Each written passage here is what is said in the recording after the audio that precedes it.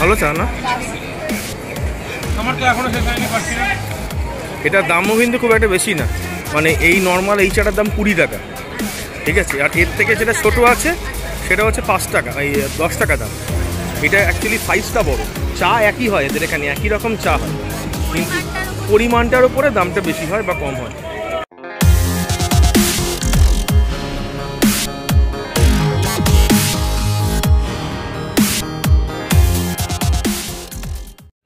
Food lovers অডিতে আপনাদের সবাইকে স্বাগত বন্ধুরা। আজ আমরা এসছি নিউ মার্কেট এরিয়াতে লিনসে হোটেল এবং রেমন্ডস শোরুমের ঠিক পাশে একটি চায়ের দোকানকে আজ আমরা কভার করব।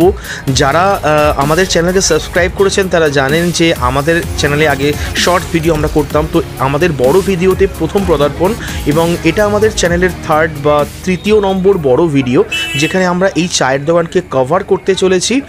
এবং যদি ভিডিওটি ভালো লেগে থাকে, তাহলে অবশ্যই লাইক করবেন এবং শেয়ার করবেন। আর যাদের এখনও মানে যারা এখনও অবধি সাবস্ক্রাইব করেননি আমার চ্যানেলটাকে তারা অবশ্যই চ্যানেলটাকে সাবস্ক্রাইব করবেন এতে মোটিভেশান বাড়ে। চেষ্টা করতে পারি আমি আরও ভালো এরকম ভিডিও মানে ফুড ব্লগিং ভিডিও আপনাদের সামনে তুলে ধরার। এই চায়ের দোকানের কিছু বিশেষত্ব আপনাদের বলি, যে এখানে কোনো কেসার বা অন্য কিছু সাধারণত ইউজ করা হয় না। নর্মালি একটা চা করতে গেলে চা, চিনি, দুধ এবং তার সাথে আদা এবং একটি স্পেশাল মশলা উনি ইউজ করেন এই যিনি। এবং দুধটা খুব গাঢ় করে উনি ফোটান। মনে করুন যে তিন লিটার যদি দুধ নেন, তার সাথে উনি নিজে বলেছেন যে পাঁচশো এম জল মেশান। এবং সেটা প্রায় এক লিটার শুকিয়ে আড়াই লিটারে কনভার্ট করেন।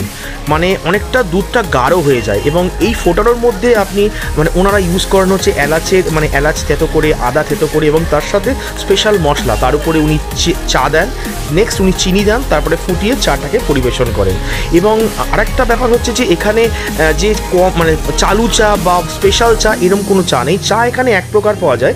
দেখতে পাচ্ছেন এখানে এই ছোটো কাপটা এর হচ্ছে দশ টাকা ভাড়া নেয়। মানে দশ টাকা এর দাম এবং অন্যদিকে যে বড় কাপ এই যে বড় কাপটা আমরা নিচ্ছি, এটা কুড়ি টাকা উনি নেন এবং চায়ের টেস্ট অসাধারণ। যদি কখনো এখানে আসেন, অবশ্যই চাটা ট্রাই করবেন।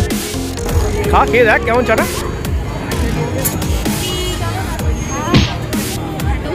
ঠিক আছে ঠিক আছে।